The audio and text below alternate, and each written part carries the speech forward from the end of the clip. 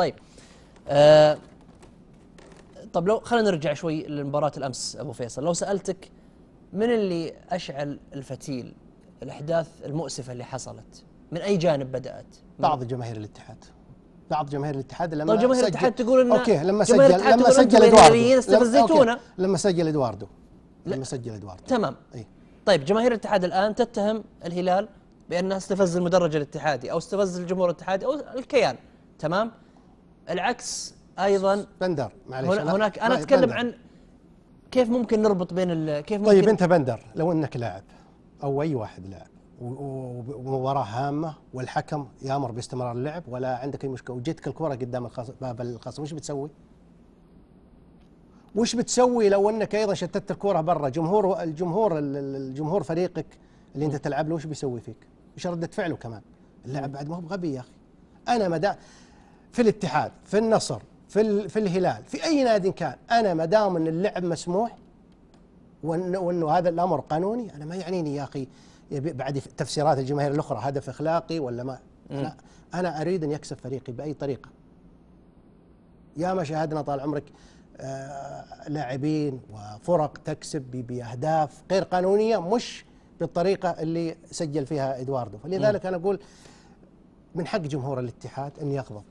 ولكن ليس من حق بعض جماهير الاتحاد أن تتصرف هذه التصرفات أو حتى الجماهير الأخرى في الأندية. يعني في الجماهير الأخرى في الأندية الأخرى مش معقول إنه اللي شاهدناه البارح الحقيقة لا يليق في الرياضة السعودية. وأنا أعتقد إنه لو آه، بيطبق النظام بشكل يعني حازم أنا أعتقد إنه الاتحاد راح يتضرر بشكل آه، كبير جدا. طيب ليش الكل كل الأطياف ليس فقط الأطياف الاتحادية أو ال- ال- الرأي العام الاتحادي هاجم أمس الهلال على بعض التصرفات اللي حصلت بداية من إدواردو أنا أسألك الآن أبو فيصل مين ال- الاتحاديين أنفسهم؟ الاتحاديين وغير الاتحاديين الاتحاديين طبيعي. الكل أنا أقول الاتحادي- لحظة، لحظة. الاتحاديين أمر- الهلالي الاتحادين أمر طبيعي فتصور يعني أنت يعني إذا فزت بتقطع يعني مشوار يعني يقربك للقب ثم يأتي فريق و يعني يعني يبعدك عن المنافسة بشكل كبير. طبيعي جدا.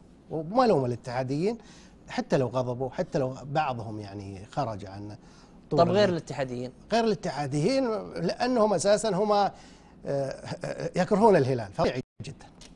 يكرهون الهلال؟ ليش؟ بالضبط.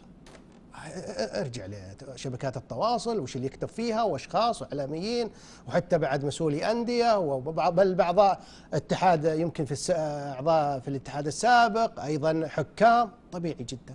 ولا ولا حد يلومهم على أنهم يكرهون الهلال. ابدا. ما حد يلومهم. لماذا؟ لأنهم يمكن معاناتهم مع نادي الهلال أو أنهم يعانون من نادي الهلال. فطبيعي جدا. على فكرة أنا أضرب لك مثال الآن في ريال مدريد مثلا. مم. كنت في آه، إسبانيا في آه، ليفربول في إنجلترا. يعني يكتب عنهم شيء لا يعني أنت يكتب عنهم شيء لا يمكن حقيقة يقال. ليش؟ لكن لأنه مثلا ريال مدريد يعني نادي كبير في آه، إسبانيا أيضا ليفربول الأندية الكبيرة فطبيعي جدا. على فكرة من السهل جدا نعم. أن تشكك في إنجازات الآخرين أو في قيمة الآخرين ولكن من الصعب جدا أن تثبت.